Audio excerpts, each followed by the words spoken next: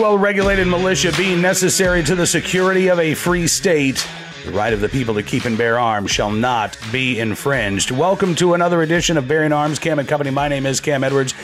Uh, obviously, today we're going to be talking about the shooting in Monterey Park, California, uh, and a potential second shooting site where the uh, suspect apparently uh, was uh, thwarted from carrying out his attack thanks to a, a citizen who uh, wrestled with the uh, suspect and managed to get his gun away. Uh, joining us on today's Bearing Arms Cam and Company, a California gun owner, Second Amendment advocate, uh, founding board member of the Asian Pacific American Gun Owners Association, a competitive shooting champion, Chris Cheng, uh, is with us to talk about the shooting, which actually happened not far from where uh, Chris grew up, as well as uh, the expected reaction from California lawmakers going after you know legal gun owners as opposed to uh, putting the focus where it should be criminal justice and mental health. Take a look and a listen. Chris thanks so much for coming on the show. It's good talking with you today. Yeah thanks for having me on today cam. It's a very tragic and sad day. It, it is uh, and you know I, I let me just ask you i mean first of all just an open-ended question. I mean when you woke up to the news, uh, you know, this uh, uh, horrific attack. Um, and then as we learn more information, I mean, what were your first thoughts?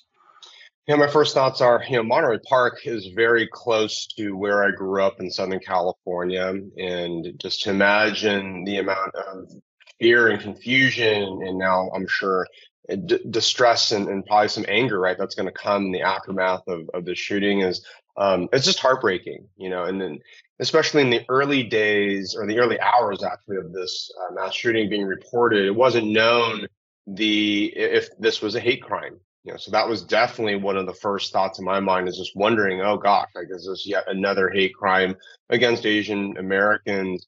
Um, you know, at least at the outset, you know, it was another, um, you know, the the shooter was Asian male. Um, so hypothetically, you know, probably not an anti-Asian hate crime. Um, but yeah, just just really just sad and tragic, and um, yeah, and just you know the the timing of this shooting as well. The fact that it was on Lunar New Year, which is a it's it's a celebration that cuts across multiple Asian cultures and it's a celebration it's a time where right family and friends get together and so the fact that this the shooting happened on lunar new year it just heightens the level of uh, of emotions and, and tragedy uh, that's involved. So it's just it's just heartbreaking. It, it, it is, and you know, as we're learning more um, about the uh, the suspect, we still don't know, you know, the motivation. I've seen, uh, uh, you know, anonymous law enforcement sources uh, indicating that perhaps the suspect was looking for his wife, um, eh, you know, which which would indicate some familiarity with these locations, and and maybe even some familiarity with the people inside, right? Um, this might not have been a case of uh, targeting strangers. This might have been, you know, uh, an attack targeting acquaintances, targeting even friends. We again, we don't know all of the circumstances here, but we do know that this was a, a horrific tragedy. Um, and as you say, people I think are are rightfully angry. I mean, some of the stuff that's already emerged. We know that this guy apparently went to the police a couple of weeks ago and was complaining that maybe he thought he was being poisoned. Um, I don't know about you, Chris. I mean that that that maybe is you know worth police investigating, and maybe they come to the conclusion, okay, he's not being poisoned. Maybe this gentleman needs some help. Maybe he needs to talk to somebody. Maybe we need to take him in on a 5150 hold in California and, and see if you know he's in a mental health crisis. Uh, what, what, we don't know if that was done, um, but it, at this point, it doesn't sound like there was any sort of uh, you know involuntary commitment or anything of that nature. Right, and and I think uh, one thing that's been interesting to me is that he was a known quantity to this dance studio community. Right, this wasn't a random stranger, right, who was coming into to the to the place of business to you know just you know uh, innocently uh, or you know just like uh, target random people. This sounded like he was embedded in the community. People knew who he was. I've been reading some uh, witnesses and community members commenting how he was acting a little strange, right? He's just sort of uh, little little strange acting over the past few weeks and months, and and yeah, I just I wonder, you know, if there were warning signs, and you know, I think uh, it, it's hard, I think, to to to pick out these small moments in somebody's life, and right, somebody might say something strange or act strangely in a different way, but you know, in a vacuum, you might just look at at, at someone saying, "Oh, right, I think I'm being poisoned," and you might say, "Well, you know, hey, that's a weird thing," but right, the hard part is at what point does that escalate into a 5150, or to say, "Hey, you know, we need to get this person medical help um, that's I think that's the hardest. Um, that that's that's sort of the the edge of of this challenge for our country and, and just for our communities to be able to know how to identify when somebody is on that edge and, and then how do you get people help Absolutely, and you know, and to that end, I mean, I think uh, you know one of the things we're we're, we're already going to see this in California. They've already uh, introduced bills to expand the use of red flag laws and you know, because I don't know if you and I have ever talked about red flag laws, but one of the issues for me beyond the due process concerns is that there is no mental health component to them. Uh, you know, a judge says, well, uh, based on the evidence that a prosecutor's presented to me, yeah, it looks like this person's a danger to themselves or others. Take their guns away, and then the problem is solved. And clearly, I don't think that that's the issue here, right? We're talking about dangerous individuals, not about one particular item that they might own. How concerned are you living in California that the legislative response to Monterey Park is going to focus on guns and gun owners and not on things like mental health. Yeah, it's it's the California legislature and our governor are definitely going to be focusing on anti-gun measures in response to this shooting. It's it's just it's the classic playbook of the anti-gunners here in California that you know the, it's this um, ill-advised focus on trying to take away guns from innocent Americans. Now, it's one thing, hey, like if we're trying to right target individuals who have mental health issues, or obviously if they're felons, like that's a different category. But you know, anti-gunners here in California, they just like to paint all of us gun owners, right, including the responsible ones. They like painting us as the bad guys or as the potential threats. And so, um, but you know, here's the funny thing, Cam is that California has some of the quote strongest gun control laws in the country. So where do we go from here, right? It's like we already have so many gun control, you know, laws on the books, and it goes back to the, you know, the, we, you know, we know that most gun control, like it's just, it's just ineffective. It's not going to keep our country safe. And so, right, the the ultimate path here is the government's probably going to try and you know get to some confiscation scheme. I mean, that's I, I know that's um uh, for non-California residents, right? That may sound like we would never get there, but right in states like California, right, New Jersey, Illinois, I mean, we are on this path, right? It's it's a slow whittling and chipping away of our Second Amendment rights. And so, what I hope will happen is you know the Asian American community is strong and resilient and also less prone to using emotions as a part of decision making processes. And so what I'm hopeful is that the Asian American community is going to give some very clear thought right to what this problem was right and how to solve it and the problem here is not the guns right the guns aren't what caused the guy to go commit crimes right? We need to focus on again, it's the mental health aspect, you know, the, and and also you know this whole you know death by suicide, um, you know, uh, component. It's um, you know, it'll be interesting to learn more um, as as information comes about. Right? Was this just ultimately, you know, death by suicide, death by cop, you know, kind of kind of um, play here? And you know, the suicide angle is one where you know, our country thankfully is providing a lot more suicide prevention resources, right? There's the new hotline 988, right? It's mm-hmm. the equivalent of 911, but 988 is a new national hotline for suicide prevention. So that is a new, that is a channel, right? For citizens like you and me to say, Hey, you know, I have someone who I know who I think I need some guidance right? How do I have this conversation or how do I divert you know, or direct resources, mental health resources towards someone in my community who needs them? So 988, um, I hope, uh, is another focus, right, in the aftermath of this tragic shooting. Well, you know, and, and what you just talked about is something I think that's really important because it's a look, you know, Congress may have uh, passed the law to establish 988, but ultimately what you're talking about is something that's deeper than legislation, right? We're not looking to Sacramento to solve this problem. We're not looking to Washington D.C. to fix this. That we're we're looking at our own lives and and how we interact with the people around us.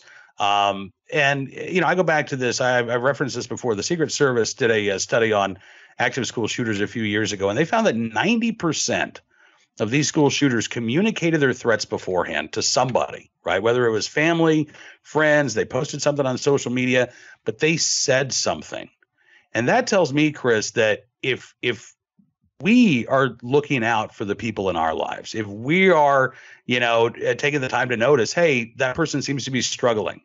Um, let me let me go talk to them. Let me see how they're doing. Let me reach out. I haven't spoken to this person in a couple weeks. I just want to see how they are you know, it's not our responsibility on the one hand to prevent these types of attacks by you know peering at our neighbors and our friends and you know examining them with a microscope but i think if we are maybe a little bit more cognizant of the people around us and we are interested in in making sure that they're doing okay and hopefully folks are interested in making sure we're doing okay that maybe we can identify these individuals and get them help before they commit these atrocities, right? I mean, that mm-hmm. that's the ideal answer here. Absolutely, right. So it's all about, like you said, it's about looking inward, right, at, at, the individual level, right. It's, it's asking, hey, if if I'm part of this, you know, whatever community, you know, if I see someone in trouble, like, what can I do, right? It's not what can the government do, what can mental health professionals do, right? It has to be what can I do right now with this person who needs help, and the you know when it comes to firearms in particular right? So this is you know this is where you know if you actually know someone right really well right you're likely to if they have firearms you're likely to know that they have firearms right? If this is someone that you know you know as a friend or someone in your community and so if somebody is in mental distress right and having uh, you know, a challenging period in their lives, you know, one option, you know, one of many options that we have is to offer to temporarily take custodianship, right, of that person's guns and just ask and say, hey, you know, just as a as a friend, as a favor, you know, if you're open to it, you know, I'm willing to, you know, temporarily hold your firearms, right, while you, you know, go through this tough part in your life.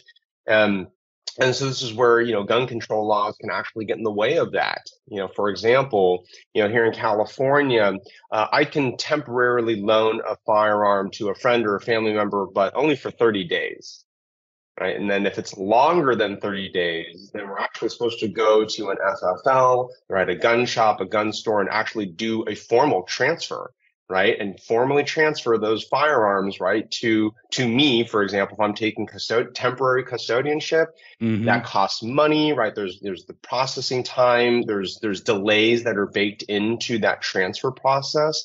And so this is where you know gun control laws you know uh, as uh, you know well intentioned as some of the anti-gunners are. Right, they don't always realize that they have these negative real world consequences, right, on good Americans who are trying to do the right thing, right, trying to keep ourselves safe, trying to keep others safe, and trying to keep our community safe and healthy as well. Absolutely. Well, listen, Chris, I know we're going to be talking uh, a lot more this year. Um, I'm going to be calling on you to uh, give us your reaction to some of the gun control bills that are uh, floating around in Sacramento. Um, but in the meantime, you know, let, us talk about what you're doing uh, uh, real quick because you are obviously so busy with you know competitive shooting with your Second Amendment activism. Um, what what are you focusing on? Uh, you know, over the next few weeks or few months here. Yeah, so uh, you know, uh, I co-founded a, uh, a, a, a, gun organization that's focused on Asian Americans, and it's called Asian American Asian Pacific American Gun Owners Association, or APA-GOA. And APA-GOA, you know, our core mission is about firearm safety and education and over the past few years, we've seen a notable 43% increase in Asian American gun ownership, right? And so you've got uh, this is a, a, historical shift in in gun ownership demographics. And so, you know, as you and I know as gun owners, you can't just buy a gun and then expect to be safe, right? You, you need to go train. You need to be educated on how to uh, not just operate the firearm, but you know, understand the ethics and the the legal components, right? Of you know, if you end up you know shooting somebody, you know, what are, what are the local laws, right, in your jurisdiction? What's going to happen to you, right? So there's all these consequences um, that that can come about, and so APAGOA is all about creating community, right, and connecting firearm owners or people who are interested in, in, in shooting and uh, making sure right that they have the information to be safe and so with this shooting in monterey park um, you know APAGOA right we we are one of many resources available to uh, to the monterey park community to other asians you know throughout the country and you know we we want to again like we want to help educate Asian Pacific Americans on uh, sport shooting, on self defense, right? Home defense, concealed carry, um, right? And how, how do you go about, right, getting your CCW, right? What is the right kind of, uh, you know, pistol, right? Or, or, or firearm, right, for you given your particular situation. And so, in the wake of the Monterey Park shooting, um, you know, I'm, I'm sure we're going to see an increase in interest in APAGOA. Um, so, you know, I'm on the uh, founding board uh, you know, founding you know member of APAGOA. And so, if, if anybody's interested in more information, we have a website and uh, you know social media presence apagoa.org. All right, Chris Cheng, thank you as always, sir, for your time. I really appreciate it, and uh, I look forward to talking to you again very soon. Thanks as always, Cam. I appreciate Chris joining us on the program and looking forward to having him back again very, very soon. Uh, now let's turn our attention to today's armed citizen story, our good deed of the day, and our recidivist report. Now, our armed citizen story and our recidivist report actually same story. Here's the uh, headline from CWB Chicago. Arrested 32 times since 2014. Man allegedly engaged in a firefight with a concealed carry holder on a Chicago Transit Authority train. Now, that concealed carry holder not arrested, even though CTA does ban concealed carry for most people. But as it turns out, this would be robber picked the one guy on that train who was probably lawfully carrying. This is a, a uh, security guard. Uh, and according to the CTA policy, while concealed carry is banned, there is an exception for security personnel who are traveling to and from work. And that was the case. A 25 year old bank security guard who was off duty, just headed home, uh, was the victim of an armed robber. Uh, and the armed robber pointed a gun at him, took his belongings, told the guy, get off of the next stop. He did, that's when he drew his firearm, which the robber apparently hadn't discovered, went back onto the train and started shooting at the uh, robbery suspect, eventually uh, injuring him. Uh, as it turns out, Darius Moss, the robbery suspect, no stranger to law enforcement, 32 arrests, as that headline uh, noted, since 2014, four felony convictions over that same time period as well. But uh, Darius Moss, apparently little to no time behind bars to show for the four felony convictions and the 28 other arrests, um, some of which, at least, may have ended in uh, misdemeanor convictions or who knows, perhaps there are even other felonies out there. Uh, he didn't care about the law forbidding him from bringing a gun on the train. Uh, but again, thankfully, he had the uh, misfortune of choosing probably the only lawfully armed citizen on that uh, Green Line train car when he uh, engaged in the robbery. The robbery victim, by the way, uninjured, uh, and again, not facing any charges. There is a lawsuit underway, by the way, taking on the uh, gun free zone designation for all Chicago Transit trains, buses, and uh, bus and train stops. And hopefully, that lawsuit is going to be successful because clearly, again, violent criminals don't care about that prohibition.